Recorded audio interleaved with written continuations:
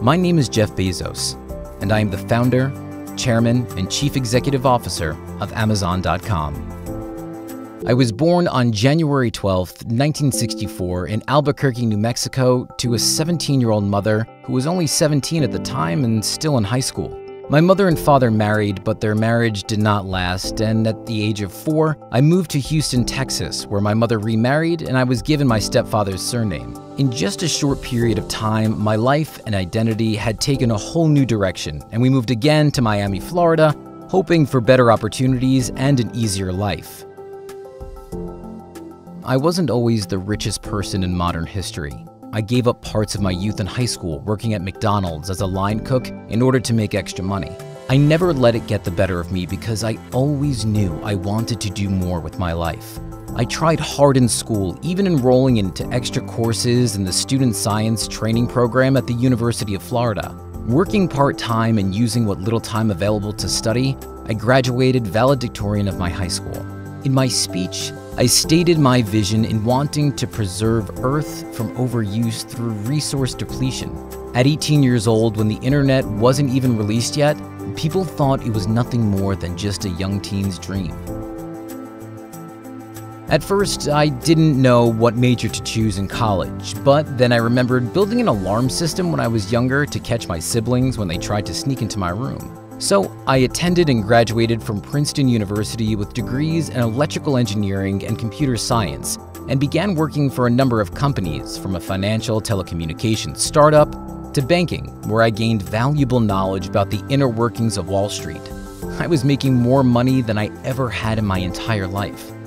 Growing up poor, I've always had very little, but money to me was only a tool and never the end goal.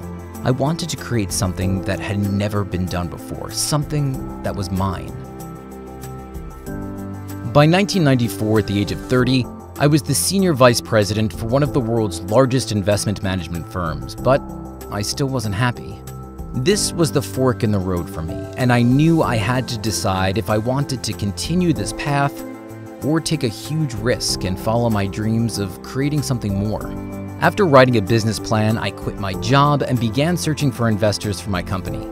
I warned them that there was a 70% chance that my new business could fail because the idea of blending the internet and commerce had never been done before.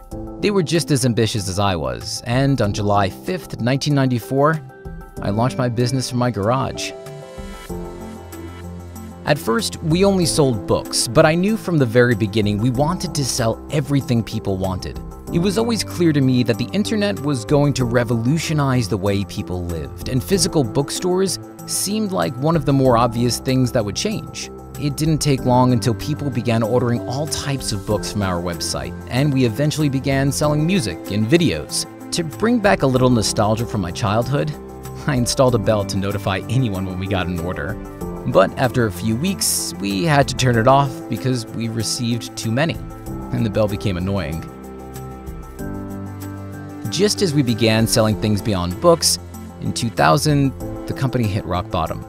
A combination of fierce competition and the dot com bubble burst led us to near bankruptcy.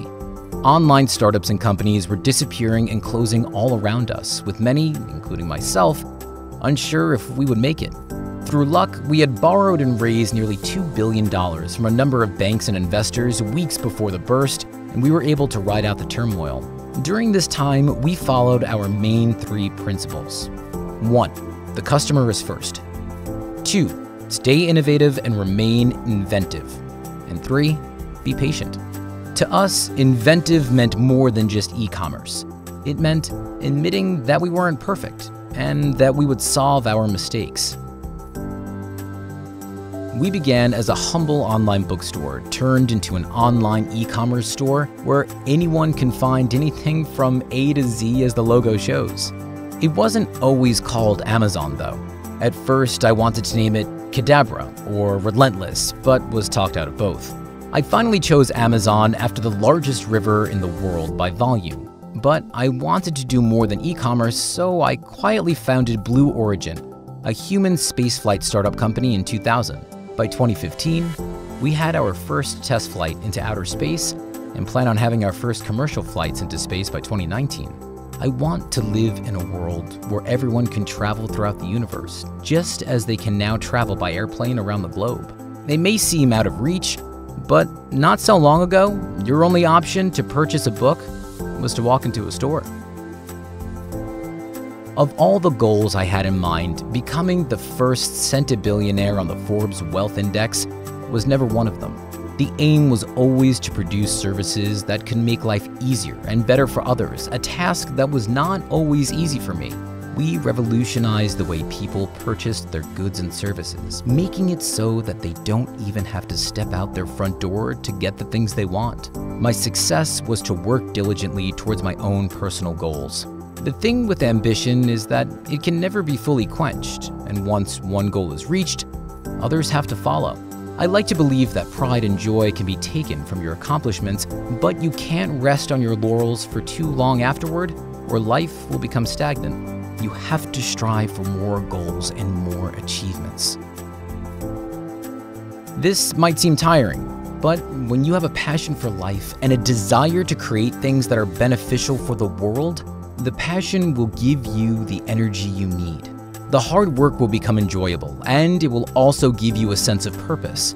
It won't always be a smooth road, and sometimes people won't always agree with the approaches that you take or the things that you do, but I've always believed that in order to do new and interesting things, you have to have thick skin and an ability to tolerate critics. You should always take on board what others have to say, but if you can't see their logic, you need to have the resolve to stick to your guns.